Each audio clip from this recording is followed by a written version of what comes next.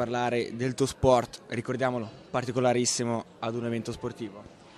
Ma questa sera è stata davvero un, una grande emozione, un grande onore per me appunto essere invitata qui perché non ho ottenuto sicuramente tutti i risultati che hanno ottenuto questi, questi giovani ragazzi, ma spero di aver portato comunque un, un esempio perché avendo praticato la ginnastica, avendo ottenuto comunque dei risultati buoni a livello ticinese, a livello svizzero, non mi sono arresa davanti al fatto che non potevo più continuare, non, era arrivato comunque il momento di smettere e ho trovato un altro obiettivo e quindi spero di aver dato un esempio a questi, questi ragazzi.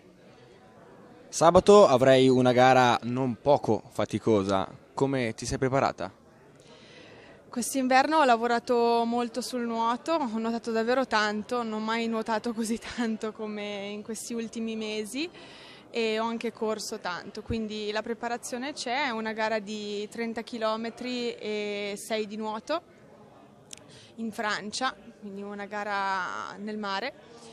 E vedremo, dai, spero, sono pronta. Più dell'anno scorso, eh, spero che, che vada bene, soprattutto un po' paura per il freddo, ma credo che andrà bene, dai.